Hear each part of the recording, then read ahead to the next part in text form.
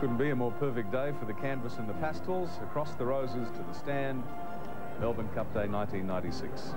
Just a picture, it is.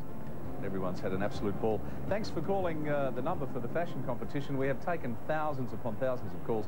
We're trying to sort all of that out and get you a couple of winners before we close. There's Gay, who would have had a good day regardless.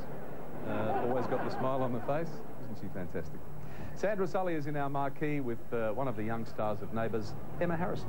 Yes, Tim, a very, very happy Emma Harrison. Uh, she's just back safely, and she was also in the sweep at work, so she's pretty delighted to be here today. That's right, winners are grinners. now, your character, um, Joanna, tonight goes to the races. It, is this the shape of things to come tonight? I hope so. We'll have to wait and see. You can't say too much. That's right, Sandra. Now, this is your second cup. Uh, tell me, what's your impressions of the day? You've obviously had a terrific day. You're um, backing a winner, but do you enjoy it? It's absolutely fantastic to be here today. The women have gone to so much trouble to look fantastic, and and the weather, of course, is gorgeous, so it's been a wonderful day. Is, I know your character is uh, saving up money to try and buy into the coffee shop. I suppose your winnings today, any chance you could give her a hand?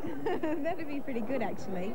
Yes, Joanna invests in the coffee shop, and she's also living in a house full of girls in number 30, so she's having good fun. All right, well, listen, thanks for joining us today. It's terrific to see that you're back to winner, as did a few of us, Tim. So uh, I guess we can both say from the marquee, winners are grinners. We're a, a happy couple. Yeah, we're pretty happy up here too, Sandra. Thank you, Emma.